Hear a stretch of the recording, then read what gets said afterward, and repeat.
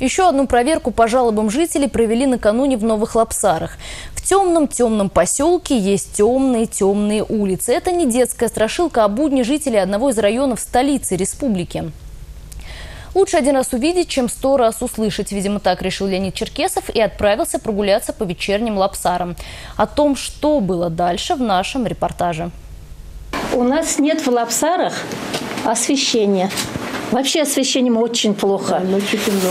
Темно, темно. Ночью я приеду, так. стемнеет. Так. Ой, и вместе темно. с вами пройдемся давай, по всем улицам. Давай. Такое обещание городоначальник дал еще неделю назад во время визита в рамках единого информдня.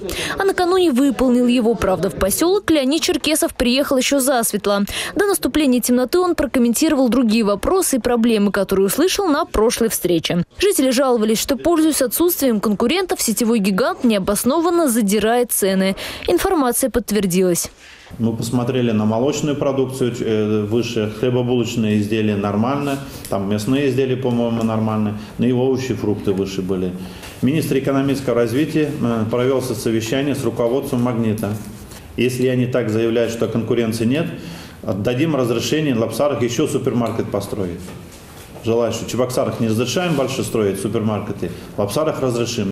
Хорошо бы еще кроме супермаркетов в поселке появилось отделение Сбербанка, отметили жители, а то приходится ездить в город. Леонид Ильич пообещал направить руководство письмо. Но чтобы в город не ездить для того, чтобы отвозить детей в Чебоксарский детский сад, из-за нехватки мест в Лапсарах решили создать дополнительно 60 мест. Для этого на ремонт выделят 6 миллионов рублей. Когда вопросов больше не осталось, за окном был уже поздний вечер. Самое время, чтобы оценить освещенность. На центральных улицах все казалось не так страшно. Так что кромешную тьму пришлось еще поискать. Однако место, где дорогу освещали только окна домов и на камерный свет телеоператора, нашлось. Жители говорят, таких в поселке много много.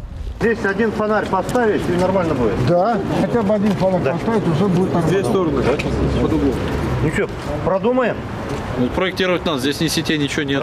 Поставить по одному фонарю, то есть решить проблему точечно, можно уже в этом году. А вот с серьезным переоборудованием всего поселка все не так просто. И есть участки, где темно, конечно, где надо делать. А, мы уже определили а, те участки, которые будем делать в ближайшее время, буквально а, до праздников, до 9 мая. Здесь нужно посмотреть комплекс освещения поселка Лапсар. И этот э, будем проектировать на, уже на следующий год. Комплекс комплексно. А, все дворы, э, проезды дворам, э, улицы, они должны быть освещены. Для этих целей деньги в бюджет будут закладывать планомерно, отметил Леонид Черкесов. Так что из сумрака новые лапсары, вероятно, смогут выйти в следующем году. Ольга Пырочкина, Александр Петров, Республика.